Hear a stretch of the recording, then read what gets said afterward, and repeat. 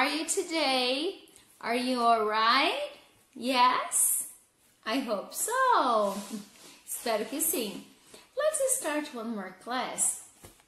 Today we're going to talk about demonstrative pronouns, que são os pronomes demonstrativos. Mas, okay, don't worry about the names, just let's see some examples. Vamos lá, a gente não precisa se preocupar com os nomes, apenas a teacher vai demonstrar para vocês, ó, demonstrative. São os pronomes demonstrativos porque a gente demonstra, mostra, explica ou aponta. Nós vimos em vários vídeos anteriores, é, é, através de exemplos, usar essa palavra aqui, ó. This, this. This em inglês é este ou esta. Por exemplo, a frase mais utilizada ultimamente tem sido What's this? ou What's it? What's this? O que é isto? Então, isto, ou este, ou esta, é para mostrar um objeto que está próximo da gente. Se esse objeto está próximo, eu falo this, por exemplo, this book, este livro. Mas se o objeto está longe, eu vou usar that, that, that. That é aquele, aquela ou aquilo se eu tiver que apontar that chair, aquela cadeira, that person, aquela pessoa. Se eu dizer, disser this person, esta pessoa, mas se eu disser that person, aquela pessoa, eu tenho que apontar. Mas também nós temos o plural, estes ou estas. Nós vamos usar these, these, these é o plural, estes, estas, estas canetas, these pens, these books, these dolls, these toys, estes, estas bonecas, estes livros, estas canetas. Então é usado these estes ou estas. E eu tenho o plural daquele que a teacher ou que nós, no caso, temos que apontar. Those, que é essa palavra aqui, ó. Those, those, those, que é aqueles, aquelas. Se eu disser assim, aquelas pessoas, those people, aquelas cadeiras, those chairs, aqueles carros, those cars, aqueles, hum, aqueles o que? Dá uma ideia para teacher. Aqueles brinquedos, those toys, aquelas casas lá, those houses over there. Então tudo que eu tenho que apontar, tá longe, eu vou usar estes dois aqui that, quando é um objeto apenas, uma coisa apenas. Mas se tiver mais de um, eu vou usar those. Então, se eu falar um só, mencionar um objeto, that, aquele, aquela, aquela casa, that house, aquelas casas, those houses. A mesma coisa acontece se eu tiver objetos perto de mim. Se eu tiver apenas um objeto, eu vou falar assim, por exemplo, esta é minha bicicleta, eu vou usar this is my bike. Estas são minhas bicicletas. These are my bikes. Então, plural, these, singular, this. Ó a pronúncia. O i, ele tem um som meio de e, this, this. E o finalzinho é de s. Já o de baixo é o som, embora escreva com E em português, o som é de I em inglês. De, de, mas o som é di. These, these. E o finalzinho som de Z. Então, de cima, this, e o de baixo, these. Se eu disser essas, estas bolas aqui pertinho de mim, these balls. Mas se tiver apenas uma, this ball. Ok. Então, é, são exemplos de como a gente aponta, demonstra, se refere a objetos ou pessoas que estão próximos de nós e que estão longe de nós. Então, se eu tiver this, significa que está perto, ó, escrito near, near. This is an apple. Esta é uma maçã. Olha a mão pertinho da maçã. This is an apple. Mas se eu tiver uma maçã longe de mim que eu tenho que apontar, olha, a mão tá longe. Então eu vou usar that, that, far, ó, tá escrito far que é longe. That is an apple. Aquela é uma maçã. Mas se eu tiver várias maçãs aqui pertinho de mim, então eu vou usar these, plural, ó, near, perto, tá bem pertinho a mão do saco de maçã. A bag of apples. These are apples. These are apples. Essas daqui são maçãs, ó, pertinho então. Mas se as maçãs estiverem longe, eu vou usar those. Far, ó, far é longe.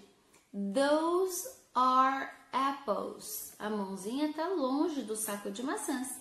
Those are apples. Aquelas ali no saco são maçãs. Então, those eu tenho que apontar, tá distante, é plural. Ok. Now I'm gonna show you some images and you have to help me describe if it's near or far. Se a imagem está perto ou longe. Look at here. Ó, a mão tá bem próxima aqui. Balls. Yes, just one ball? No, more than one. Let's count. One, two, three. Three balls. Então, eu vou usar o plural pertinho. These are balls. Ok? Porque são mais de uma. These are balls. Estas são bolas.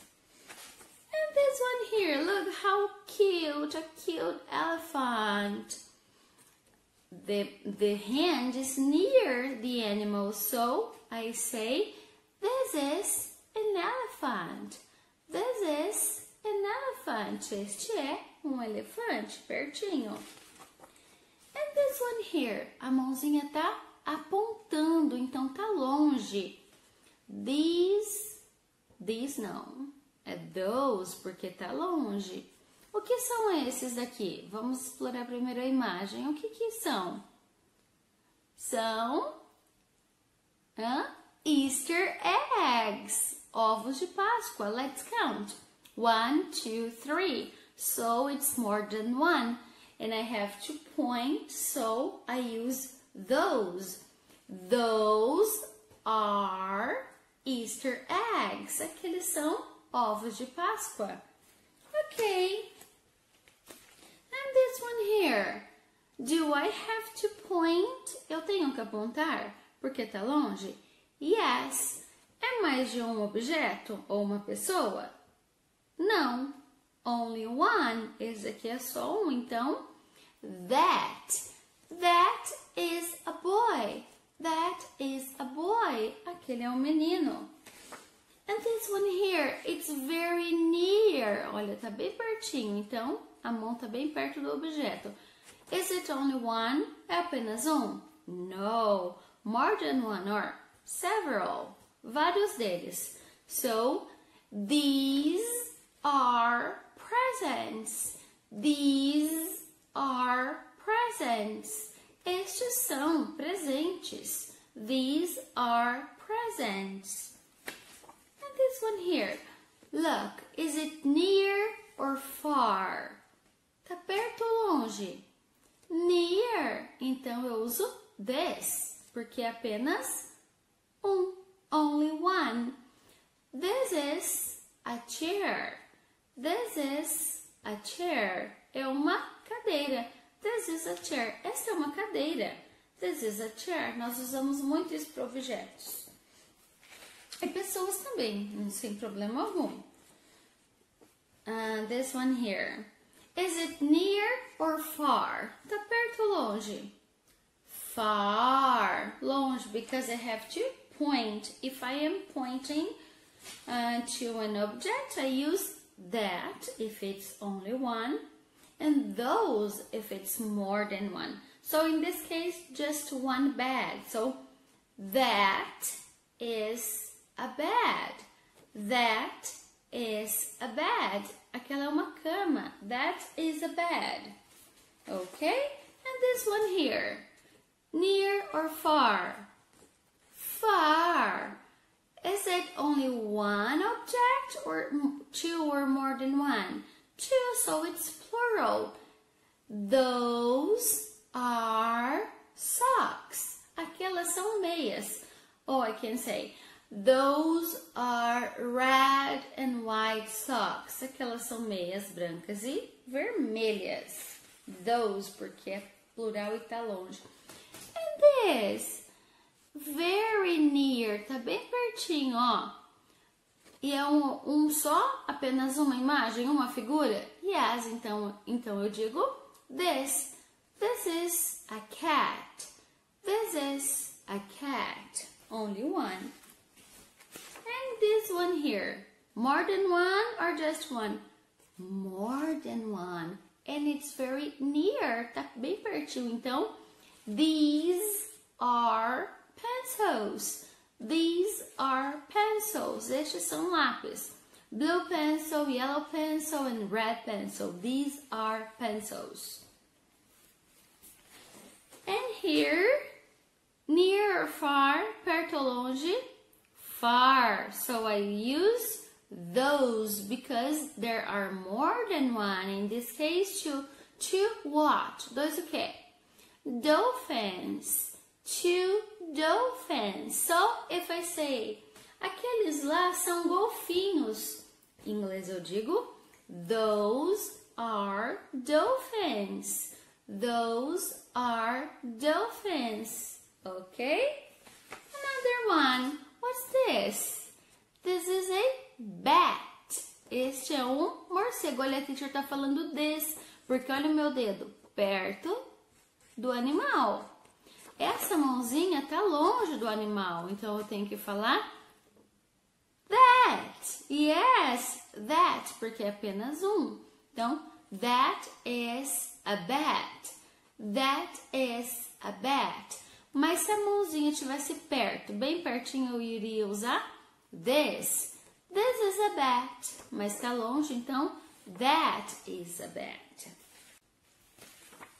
And here, this is a bear.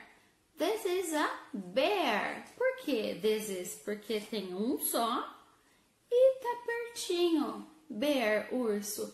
Se eu disser então, este é um urso, this is a bear. This is a bear. What about this? Two pens, right? Duas canetas. Near or far? Perto ou longe? Far. Olha a mãozinha longe apontando. Se tivesse apenas uma caneta, seria that is a pen. That is a pen. But I have two pens. So I say those. Those are pens. Those are pens. Lembra do p, p, p, o som do P? And the last one, near far? Far, and what's that? That is a lamp. That is a lamp. So I point because it's just one object. That is a lamp. That is a lamp. É uma lâmpada ou um, uma luminária. A lamp. A table lamp. Uma luminária de mesa. Ok?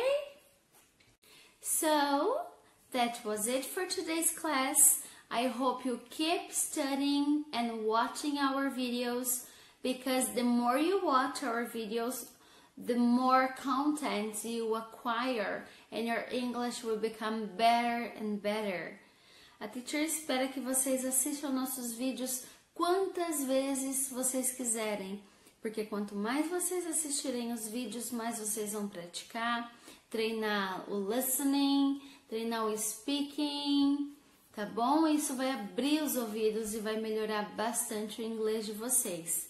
Então, às vezes a gente coloca um vídeo, não quer dizer que vocês vão assistir apenas uma vez. Pode assistir quando. Eu sei que é corrido, é puxado, em casa não é fácil, mas quanto mais vocês tiverem exposição e mais contato com o inglês, melhor vocês vão ficar na língua que a gente está estudando, ok? E logo teremos mais conteúdo sobre esse assunto. Então, the more you watch, the more you learn. Bye bye. See you next time.